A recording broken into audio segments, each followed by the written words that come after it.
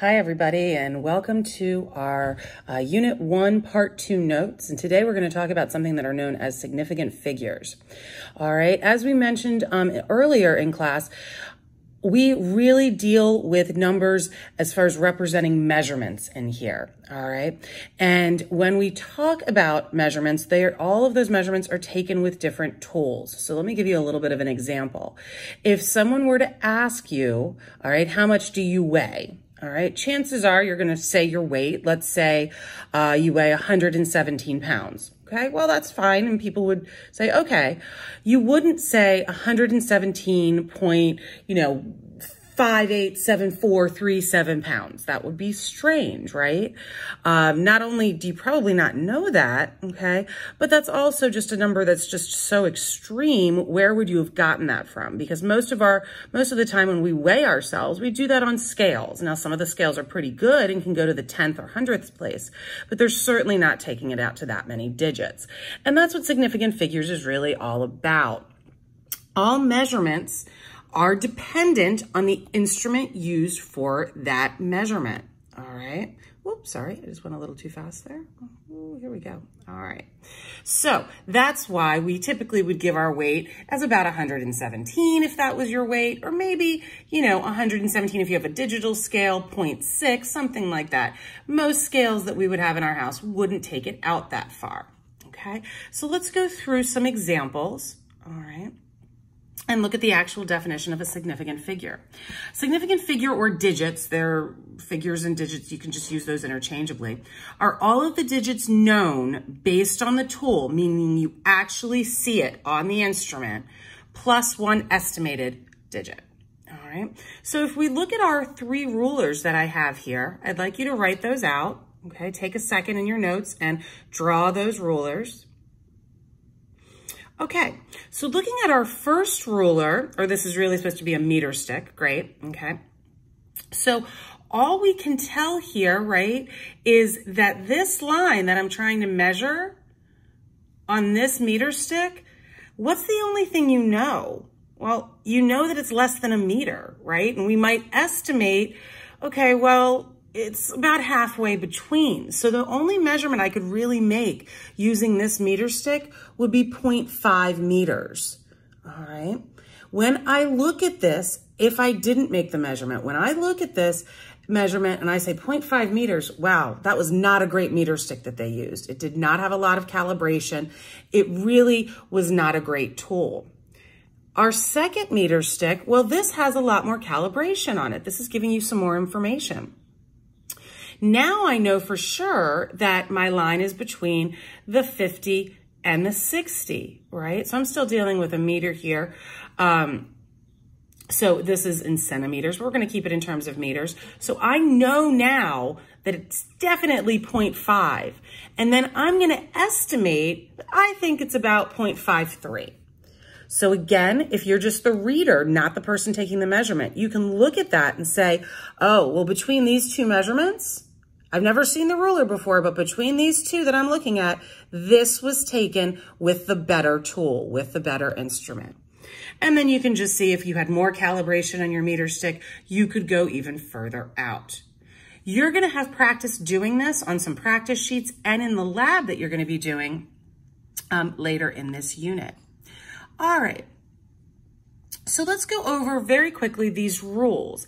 If you're not the one doing the measurement, as I said, you're gonna have to look at numbers and determine how many significant figures there are. So let's look at these rules.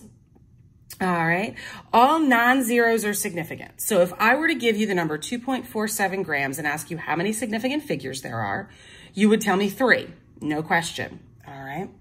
Now, rule number two, zeros between other digits are significant. So what does that mean? Well, zeros are kind of where we come into a little bit of problems with significant figures. So I call this the sandwich rule. If you have zeros that are sandwiched between other significant figures, the three and the five, they count and they are actually part of your measurement. All right, great. Now, final zeros, final zeros after the decimal point are also part of your measurement. They're significant. So let's take a look at this, 4.50 grams. Well, we know mathematically there's no difference between 4.5 and 4.50. So why is that zero there? It's there to tell you that the instrument told you the four, told you the five, and that zero is an estimated digit. So you would say that that value has three significant figures. All right.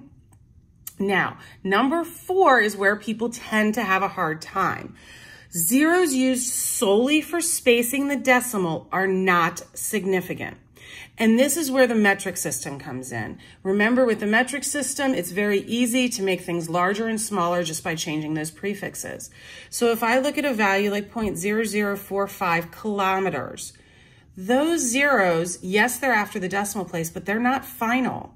All right, this value would only have two significant figures because these, chances are this was originally measured in, let's say, centimeters and then converted to kilometers.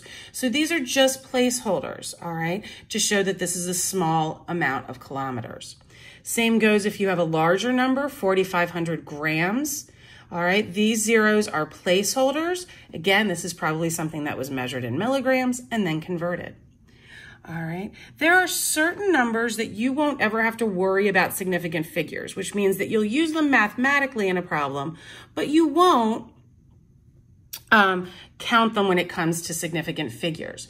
Counting numbers, if for example, I was in class and I counted all of your, all of the students, that's not a measurement, that's just counting, right? Exactly defined quantities. Anytime I give you a conversion factor in one meter, there's 100 centimeters. That's not a measurement I made. That's just a conversion. All right. You use those mathematically, but you don't worry about them in terms of significant figures. Okay, you have a couple examples in your notes. Pause the video and please write how many significant figures you think are in each of those values. All right, so let's take a look at our answer here. All right. Um, in letter A, all of those are um, non-zeros, so they all count as significant. So you're going to have four significant figures. These zeros are placeholders, so just two. These two are placeholders, but that one's sandwiched, so that is four significant figures. Letter D, it's an odd measurement, but we're just doing this to kind of show the examples. You have sandwiched, so that is four significant figures. Here, all of these are, this is a final zero after a decimal place. So those become sandwiched. So all four would count there. And then finally 4,000, no decimal place involved. All of those zeros are placeholders. So that's just one significant figure. All right. Now, sometimes you're going to be given numbers that are in scientific notation. When given scientific notation, you're going to look at this portion of the number to determine your significant figures. So in this case, that's 2. The 10 times, I'm sorry, times 10 to the third, that counts as placeholders. So in this measurement, there are simply two significant figures. All right, great.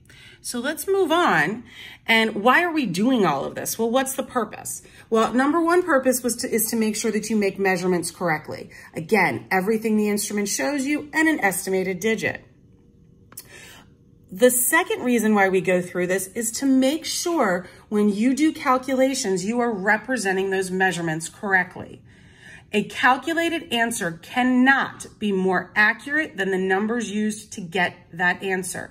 Please, please, please star that in your notes. That is highlighted. That is a big deal.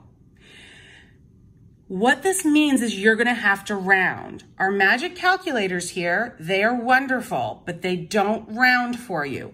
You have to become comfortable rounding yourself. All right, so let's go through. There's a couple rules that we have to go through. The first is for adding and subtracting. And I will be honest with you, this is going to be the one you're going to use the least. All right. Answers should have the same number of digits after the decimal point as the number with the least in the calculation. So remember when adding, things have to have the same label. So we're dealing with the exact same type of tool. So this one only went out to the hundredths place, while this instrument went much farther out.